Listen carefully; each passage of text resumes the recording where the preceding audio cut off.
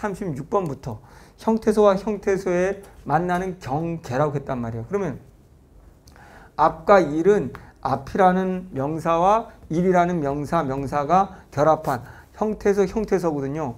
그러면 사이의 경계가 얘하고 얘죠.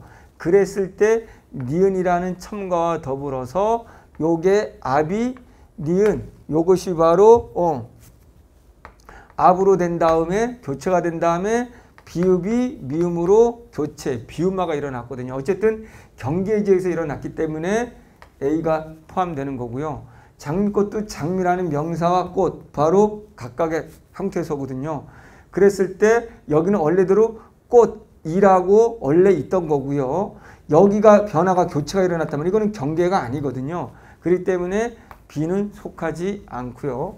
넣겁니다. 그럼 넣다라는 어 간이고 어밉니다. 그럼 각각의 형태소 형태소거든요.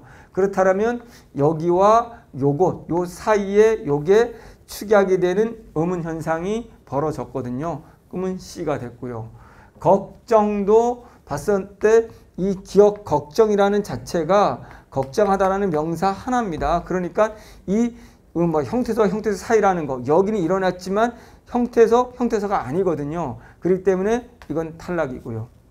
굳지라고 한다면 이게 굳다에다가 이라는 자 부사와 전미사가 붙었다면 여기 억은 접사라고 되면서 그러면 얘는 없는 거고 얘 이모음과 디귿 사이 이 때문에 디귿이 지읒으로 바뀐 구개음하기 때문에 이거는 형태소와 형태소의 사이죠. 그래서 A, C, E가 되는 거죠. 그래서 여기에서는 일단은 형태소의 종류를 알아야 되는 그런 것들을 지식으로 알아야 되는 지식형 문제였다. 그래서 조금은 좋은 문제는 아니었다라는 거고요. 다시 35번으로 가면 이거는 그냥 비문학 독해입니다. 3번이 틀린 이유는 보세요. 요 부분을 잘 읽으면 되는 겁니다.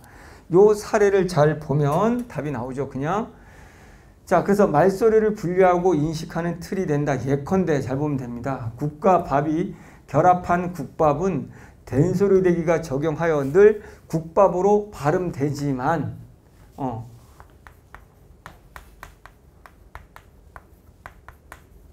발음은 국밥으로 되지만 빠트 되지만 우리는 이것을 밥이 아니라 밥과 관련된 것으로 인식한다. 빠트 밥이지만 인식은 우리는 밥으로 한다.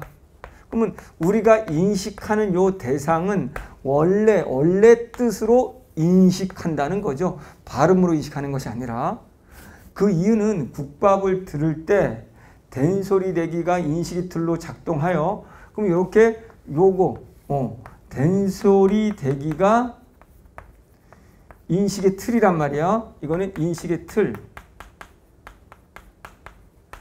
인식의 틀로 어, 작동하여 된소리 대기 이전에 음운 배열인 국밥으로 복원되기 때문이다. 이게 인식의 틀로 작동하면서 요 바로 된소리 대기가 이전 이전의 음운 배열일 때는 밥이 되는 거죠. 밥, 음 배열은 그 이전으로 어, 복원하기 때문이다.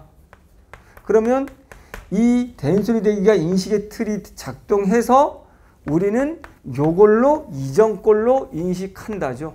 그러면 사례 그대로 와보세요. 국어에서 밥만 있어요. 밥만. 발음은 요 밥이 밤으로 나지만 그럼 똑같은 논리로 똑같이 국밥에서 똑같이 이게 밤만 이렇게 되는 거죠.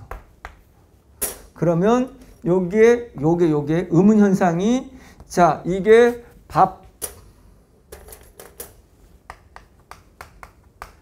만에서 이게 밤으로 발음이 나지만 파트 우리는 뭐를 인식한다? 밥으로 인식한다. 이유는 비음화, 비음화, 비음화가 인식의 틀로 작동해서 이전에 비읍으로 복원하기 때문이다. 이렇게 돼야 되는 거죠. 그러면 반만을 듣, 듣고 반만으로 알았다면 반만으로 아는 것이 아니라 우리는 반만으로 안다는 거죠. 이렇게 알았다면 인식했다면 이런 뜻이죠. 그 과정에서 비음화 규칙이 인식의 틀로 작동한 건 맞죠? 비음화가 여기에 일어나는 게 비음화니까 비음화가 인식의 틀로 작동해서 이전으로 난 이걸로 우리는 인식한다. 그러니까 밤이 아니고 밥으로 인식한다. 이렇게 돼야 되는 거죠. 됐죠?